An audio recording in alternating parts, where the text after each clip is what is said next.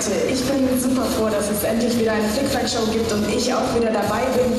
Zu meiner Nummer selber brauche ich gar nicht viel sagen. Ihr seht es ja gleich. Viel Spaß und das übrigens ist meine Gucci. Gucci? Ja.